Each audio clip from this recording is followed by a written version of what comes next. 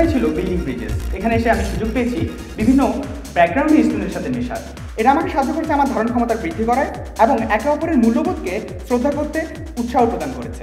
আমি যদি বিওএসসিতে পার্টিসিপেট না করতাম, তাহলে কখনোই বুঝতে পারতাম না একে অপর থেকে কতটা ভিন্ন হতে পারে।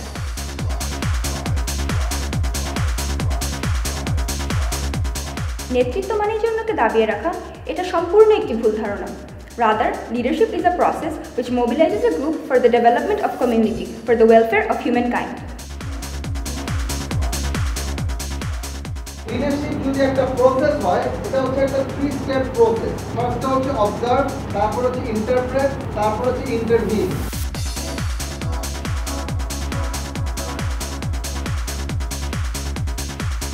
মূলত আমরা শিখতে পারি নেতৃত্ব সবার দ্বারাই করা সম্ভব। বয়স ও অবস্থান নির্বিশেষে। আমাদের ক্লাসরুমটাকে ডিজাইন করা হয়েছিল একটি ল্যাবরেটরি স্বরূপ যা আমাদেরকে সুযোগ করে দেয় নিজস্ব উদ্যোগ নেওয়ার, যা আমাদের সাহস এবং নেতৃত্বের গুণাবলী বাড়াতে সাহায্য করে।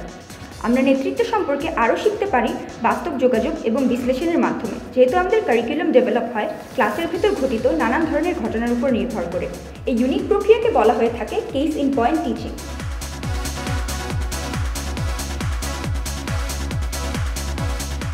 আমরা আমাদের স্মল গ্রুপে নিজস্ব লিডারশিপ ফেলিওর কেসগুলো নিয়ে বিশ্লেষণ করি।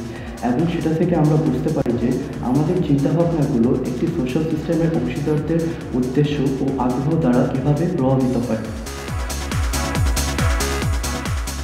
এই বাস্তব জীবনের গল্পগুলো ক্লাসে শেখা লিডারশিপের ধারণাগুলোকে বাস্তবতার সাথে রিলেট করতে সাহায্য করেছে। আমরা আরও শিখতে পারি কেন নেতৃত্ব দেওয়া কঠিন, কেন মানুষ পরিবর্তনকে রেজিস্ট করে এবং কীভাবে তা একটি ডায়াগনস্টিক মাইন্ডসেটের মাধ্যমে অ্যাড্রেস করা যায়।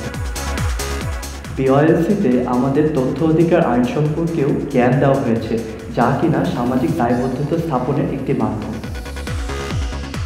আমরা তথ্য অধিকার আইনকে মাধ্যম হিসেবে ব্যবহার করে কীভাবে অন্যদের সচেতন এবং স্বাবলম্বী করতে হয় তা শিখতে পেরেছি। Class lectures, practical case studies এবং স্মল গ্রুপ সেশনের মাধ্যমে। বিওআইসিতে আমি শিখেছি কীভাবে কার্যকরী যোগাযোগ স্থাপন করতে হয়। আমি public speaking group presentation courageous conversation report writing এবং রিসার্চ ম্যাথোলজির মাধ্যমে শিখেছি কীভাবে বিভিন্ন ধরনের শ্রোতার সামনে এফেক্টিভলি কমিউনিকেট করতে হয়। এই শিক্ষা আমাদেরকে অধিকতর যোগ্যতা ও দক্ষতার সাথে নেতৃত্ব দিতে সাহায্য করেছে।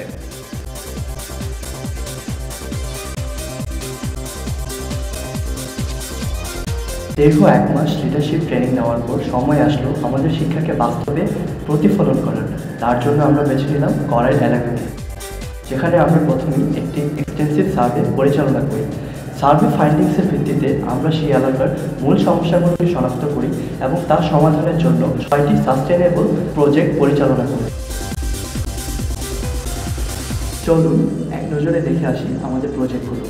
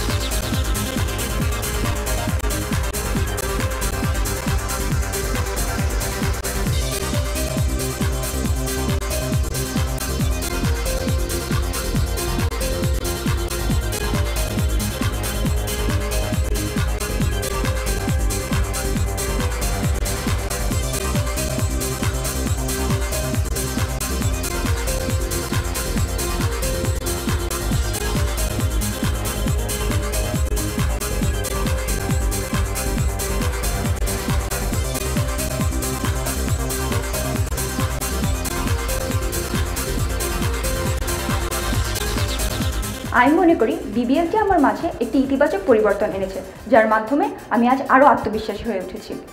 আমি সেই সাহসটুকু অর্জন করেছি যা আমাকে আমার কমফোর্ট জোনের বাইরে এসে কাজ করতে সাহায্য করে।